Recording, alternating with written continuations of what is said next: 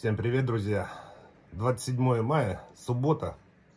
Со вчерашнего вечера идет дождь. Вчера и днем был и гром, и дождь. Заливает потопы. Магазины, которые работают, так и работают. Почты новой нет, АТБ нет. Ну, в принципе, сегодня даже не об этом хочу поговорить. Вчера ездили на рынок со Светой. Заходили в магазин и, ну, скуплялись немного. Зашли в овощной магазин. Морковка 65 гривен. Морковь 65 гривен килограмм. Помидоры, огурцы 120, да? 160. Редис такая же. Петрушка. Черешня. Ну, ну, я не знаю. Напишите, какая у вас цена. 680 гривен килограмм. Ничего себе не отказывайте. Пенсионер с минимальной пенсией, ну, в аккурат 3 килограмма себе может позволить.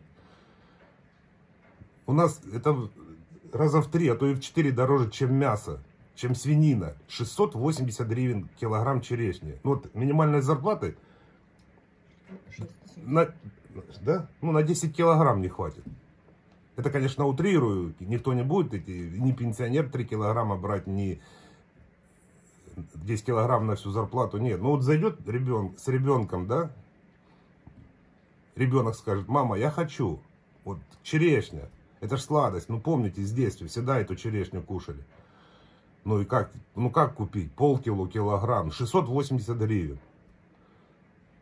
Ну, на жменьку надо, да? Три штучки взвести. Ну как? Теперь ее только с косточками надо кушать. Я говорю, это выплевывать косточки, это роскошь. Короче, я вообще... Это такое... Еще один вид оружия, которое убивает нас. Или добивает, я не знаю.